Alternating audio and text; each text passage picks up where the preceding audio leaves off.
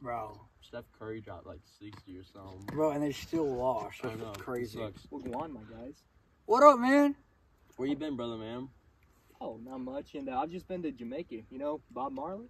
He's from there. Pretty cool guy. Why you been in Jamaica?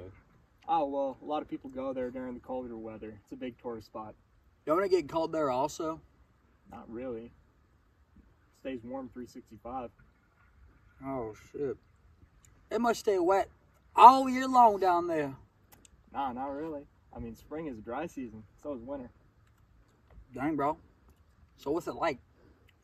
Oh, well, it wasn't bad. I stayed mostly in the mountains, but I could go down to the beach. Dog, that's cool, but I gotta get some food. You hungry, bro? Yeah. I'm a Let- little hungry, too. Hey, let's go get some food, All right, man. let's go. Got some music. I got just the thing, my guy.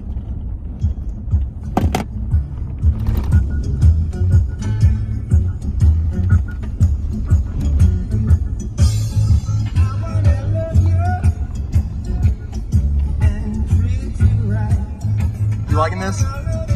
Yeah. Good. Some stuff about Jamaica. Oh, okay. Well, uh, did you know it was originally a British slave island? Yeah, then a bunch of black people know took it over. Yeah, it was pretty cool, man. Yeah, that's cool. Jamaica stuff really cool, but can we go inside and get some food? Yeah, man. Let's go. Hey, don't play with me, play with your. Let's go. Don't play with me. Don't do that. Play with your beat. Play with your beat. Young nigga on some multi-million dollar shit. Fur coat, half a million worth of ice on. And lit up like a n- cut the Christmas lights on. Why the f do you be so fresh, dawg? Why you keep your foot on these neck, dawg? Cause we at the top, but we really from the bottom. Tell it, hey, you went from my biggest fan to my biggest hater. Begging me to sign with you, but I had too much paper. That was a good trip. What happened to you?